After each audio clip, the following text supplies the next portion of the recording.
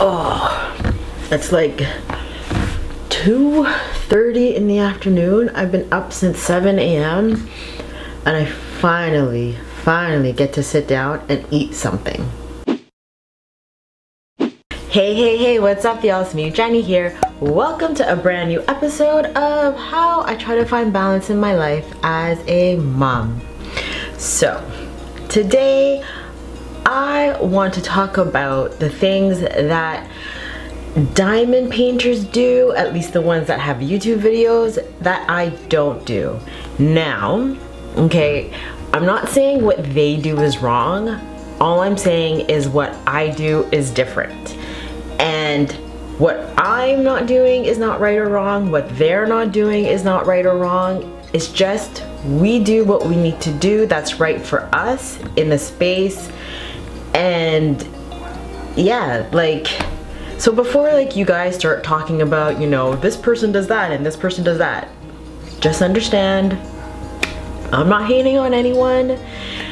And it doesn't mean I'm not open to suggestions. All it just means is that I've just noticed I do things a little bit differently than the next person. And that's all. That's all I want to say the first thing that I notice I do differently is I don't have my own drill pen.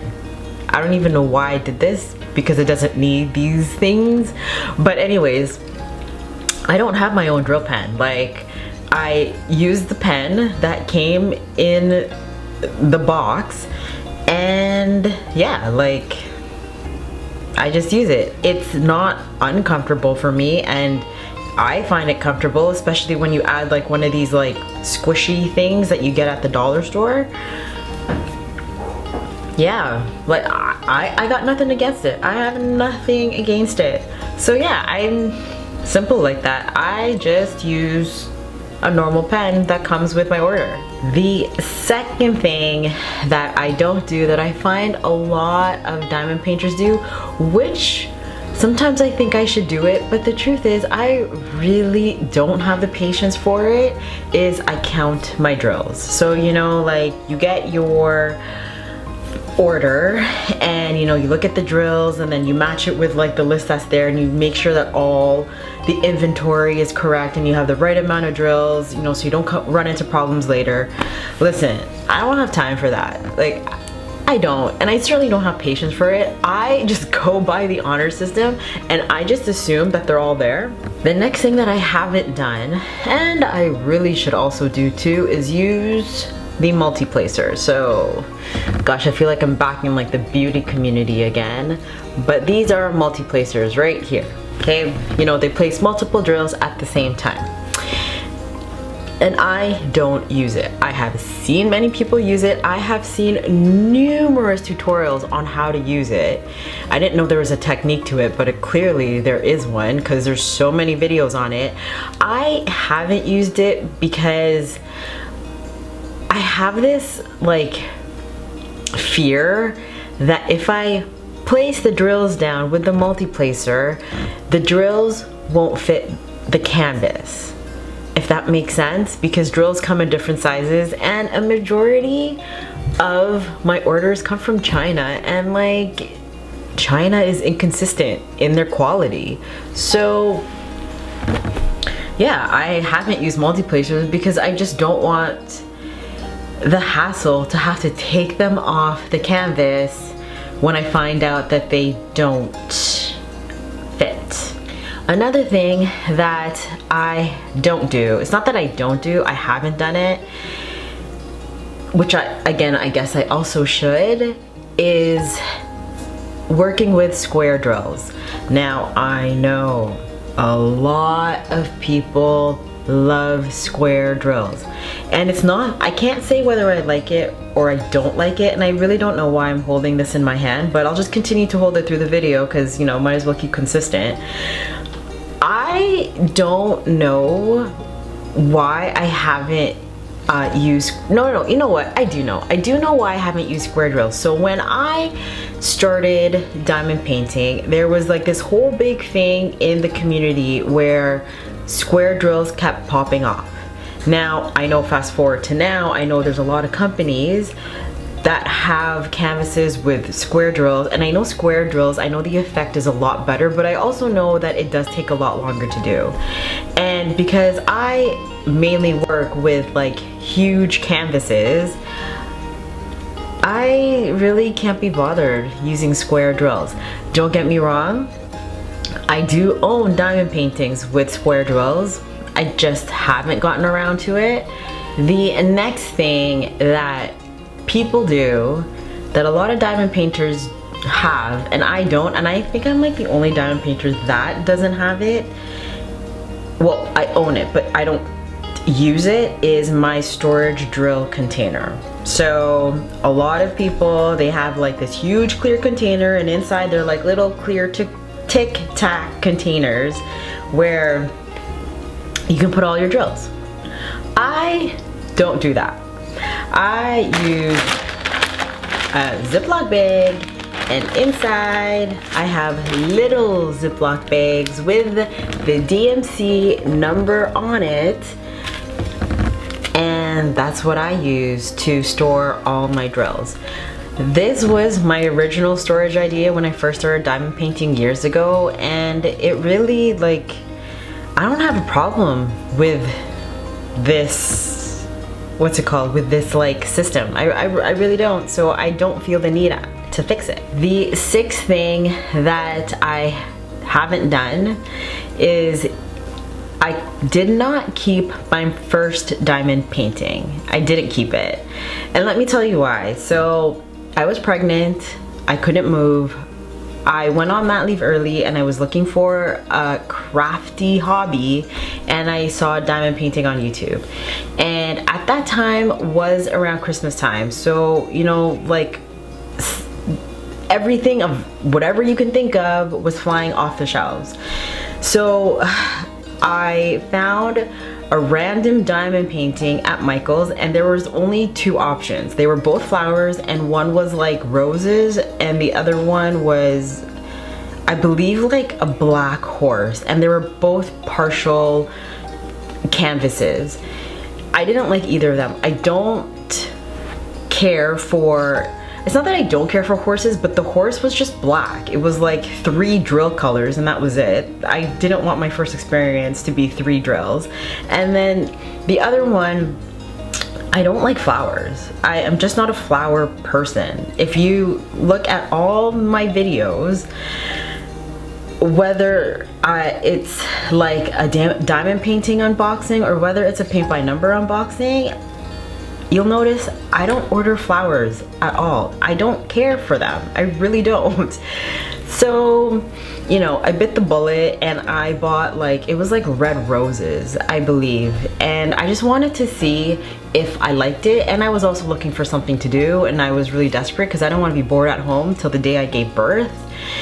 So I bought the rose diamond painting and that's when I realized I enjoyed it.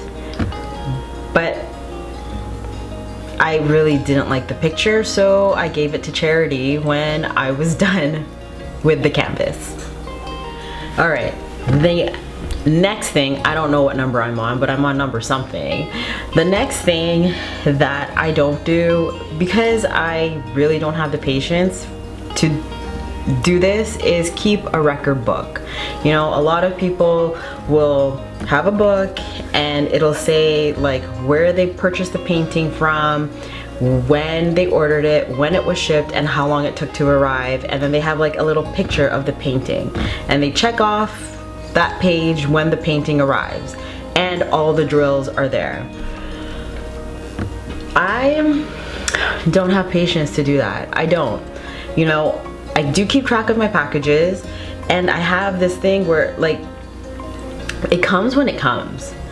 And I assume all the drills are there so that's just it. Like it comes when it comes and when it gets here is when it gets here. I will put number eight and number nine together because I feel like it should be grouped together. So the number eight and the number nine thing that I it's not that I don't do, I just really don't have a preference. I don't have a preference in the glue and I don't have a preference in the cover. So let's talk about the glue. There's two types of glue. There's like the adhesive where it's like a double-sided adhesive and then there is the poured glue. Now everyone knows, I know it too, that the poured glue is better. I get it. I don't mind poured glue, but that doesn't stop me from not buying a painting that is double-sided adhesive.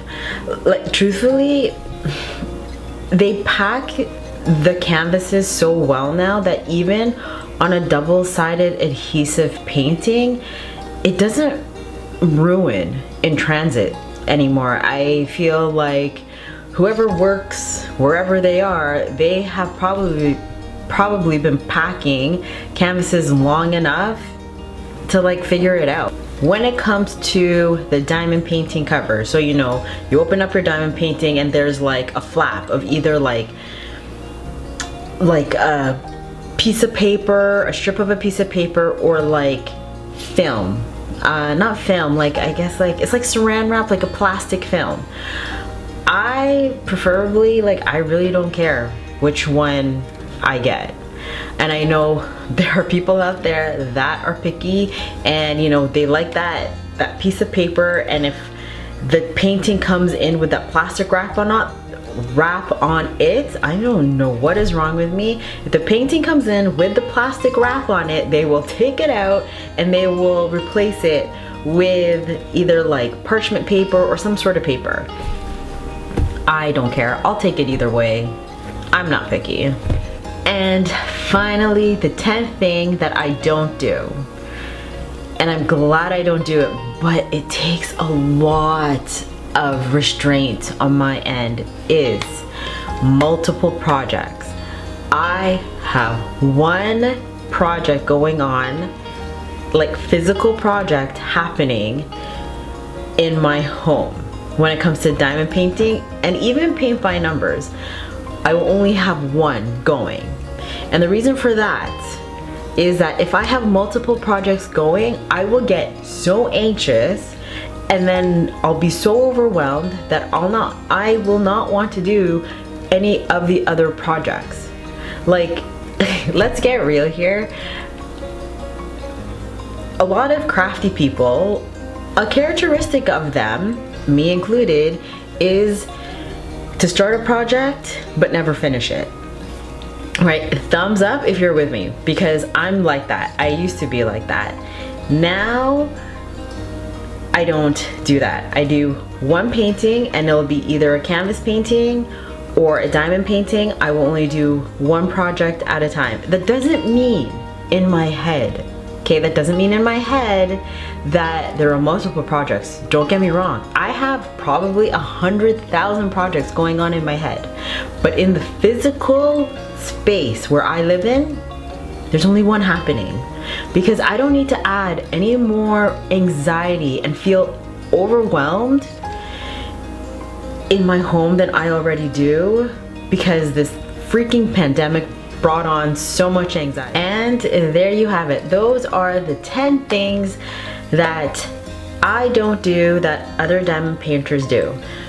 Comment down below and let me know what you do that you find that other diamond painters do or don't do or whatever.